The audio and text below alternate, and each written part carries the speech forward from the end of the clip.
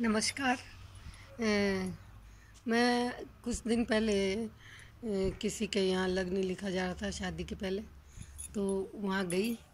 मैंने देखा कि लगन लिखा जा रहा है। लग्न को संदेश भी कहते हैं, संदेश भेजते हैं।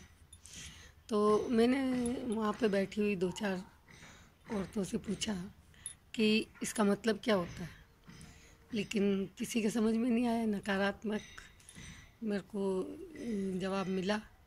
तो मुझे लगा कि इसकी जानकारी इनको नहीं है, ये इस फ़ंक्शन में आए हैं। तो जब हम कहीं जाते हैं तो उसकी जानकारी भी होनी चाहिए कि किससे संबंधित कौन सा फ़ंक्शन है। तो मुझे लगा कि हमें इसका परिचय देना चाहिए, इसके बारे में बताना चाहिए कि ये क्या होता है।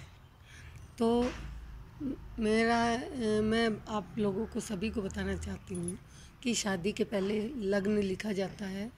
मतलब लड़की वाले, लड़के वाले को संदेश लिख कर भेजते हैं और उसमें अपना परिवार का, अपने परिवार का सारा ब्यौरा देते हैं और लड़की के बारे में बताते हैं। और इस, उनको इस प्रकार निमंत्रित करते हैं।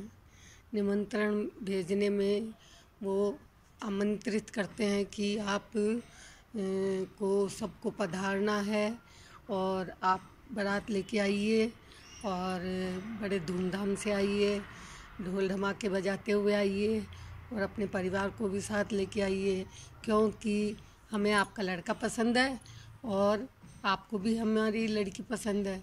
तो हम आपको निमंत्रण भेज रहे हैं तो आप ज़रूर पधारिए। तो इसका अर्थ होता है कि निमंत्रण भेजना और पौराणिक कथा के अनुसार क्या होता था कि राजपूतों के ज़माने में, राजा लोगों के ज़माने में कि किसी भी लड़की की शादी होती या उसका संबंध मतलब सोच संबंध के बारे में विचार किया जाता था। तो जैसे ही पता चलता तो सब राजा लोग जो है, उस लड़की को ब्याहने के लिए, उस राजकुमारी को ब्याहने के लिए सब इकट्ठे हो जाते थे। और उनमें, आपस में युद्ध होता था। युद्ध होने के बाद उसमें से जो जीतता राजा, वही उस लड़की से लड़की को वर के ले जाता था।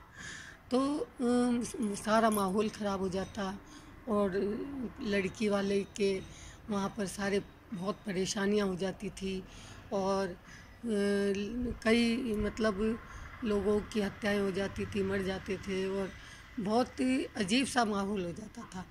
इससे परेशान होकर लड़कों मतलब इसका ये उन्होंने हल निकाला कि जिसके पास संदेश जाएगा जिस लड़के के पास, जिस घर में इसका शादी का संदेश जाएगा वो ही वर जो है लड़की के लिए ब्याहने के लिए आएगा। तो ये लग्न इसलिए लिखा जाता है। जब दूल्हा वहाँ पे आता है, तोरण मारने के लिए, अपनी बारात लेके आता है गाजे बाजे के साथ आता है, परिवार के साथ आता है तो वो कमर में पट्टा बांधा हुआ होता है और उसमें एक प्रकार का लिफाफा होता है। और वो उसमें निमंत्रण पत्र होता है। जब वो निमंत्रण पत्र जो है, उस समय वो उनको घर वालों को, लड़की के घर वालों को सौंपता है तो वो उनको ये विश्वास हो जाता है कि यही लड़का जो है वर की, वर बन के आने लायक था, क्योंकि हमने इसी को निमंत्रण भेजा है, इनके घर पे ही निमंत्रण भेजा है। इसलिए यही सही है। तो इस प्रकार, जो है, ये निमंत्रण भेजने की का रिवाज बन गया, और इससे माहौल भी ठीक रहने लगा, और समझ में आने लगा सबको कि जब हम जिसको निमंत्रण भेज रहे हैं वही शादी के लायक है। हर कोई जो है, वो लड़की को ब्याह के नहीं ले जा सकता।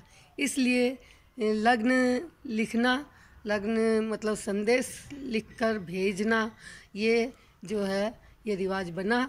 वो शादी के तीन दिन पहले, पाँच दिन पहले या सात दिन पहले लिखा जाता है और वो संदेश जो है, दूल्हे के साथ या परिवार के साथ भेजा जाता है। और इस प्रकार जो है ये लड़का अपनी मतलब लड़की से विवाह करके और खुशियाँ मनाते हैं और माहौल भी सही रहता है।